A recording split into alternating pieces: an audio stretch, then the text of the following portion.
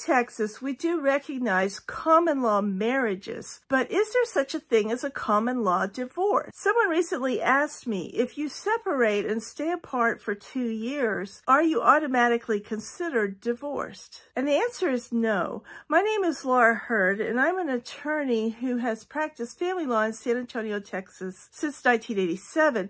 And there is a reason why people think that there is a common law divorce, but it's technically not true. There is a distinction. Let me explain. You see, if you are common law married, that means that both parties intended to be married. And if you are common law married, you can file a written acknowledgement with the county clerk saying that you agree that you are married. That's optional. You don't have to. You can go about your business and just continue on in your relationship indefinitely. But when you split up, if one party is claiming that you were never married and the other party says, yes, we both intended to be married at the time when we were together, then the burden of proof is on the party that's claiming that there was a marriage to prove what the other party intended. And you do that with the things that they said, the things that they told other people. You may be able to get somebody to testify that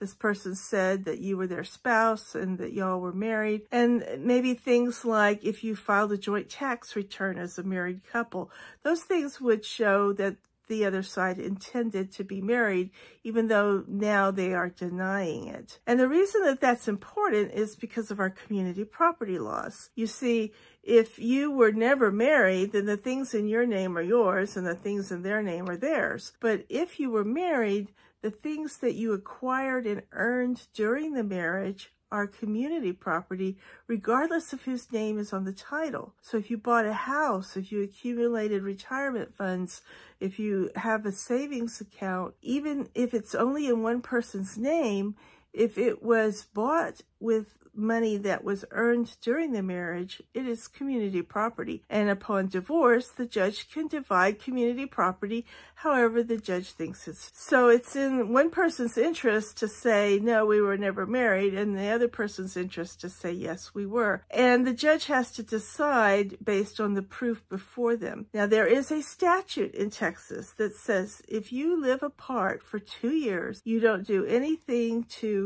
establish that you were married and now you are apart for over two years, then it's presumed that you were never married. See, if you were never married, there is no community property. And so that's different from being divorced. The only way you can get divorced is for a judge to declare you divorced, which means that you have explain to the judge what all your property and debts are, and the judge has divided it however the judge thinks is fair, and has signed a final order saying that you are divorced. So if you are apart more than two years and you never formally declared that there was a marriage, but you think that you can prove that the other side intended for it to be a marriage when y'all were together, then you can still put on that evidence. It's what's called a rebuttable presumption.